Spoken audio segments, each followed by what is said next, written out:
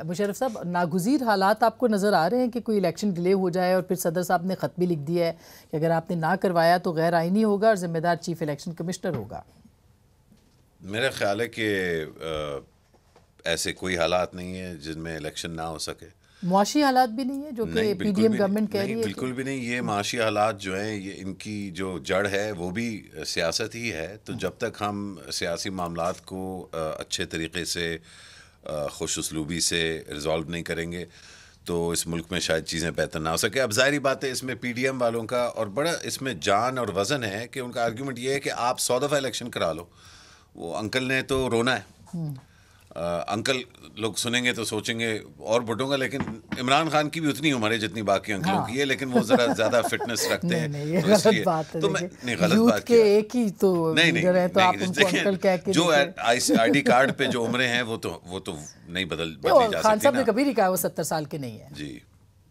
तो लेकिन आज ही यूथ के पसंदीदा तरीन हाँ। शख्स इमरान खान है। हाँ। जी अब जारी खैर अब इसमें सर अब यूथ की भी उम्र बदल गई है क्या कह सकते हैं जो डेफिनेशन यूथ, यूथ की हो रही नई जो डेफिनेशन आई थी ये कोरोना के जमाने में सत्तर साल तक यूथ कहा गया था जिन जिन लोगों ने अब अब जिन लोगों को तकलीफ़ होती है इमरान खान से सबसे ज़्यादा।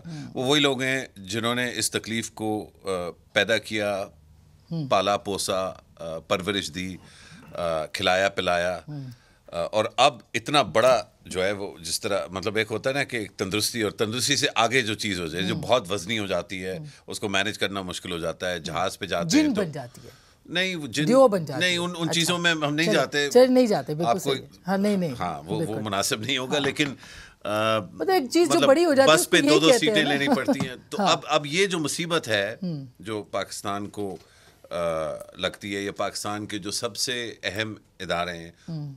उनमें उनमें कुछ लोगों को ये लगता है कि ये बहुत ना नागुजीर का जो ऑपोजिट होता है कि ये बिल्कुल का, काबिल तस्लीम नहीं है हम्म। नहीं इसको बर्दाश्त किया जा सकता हम्म।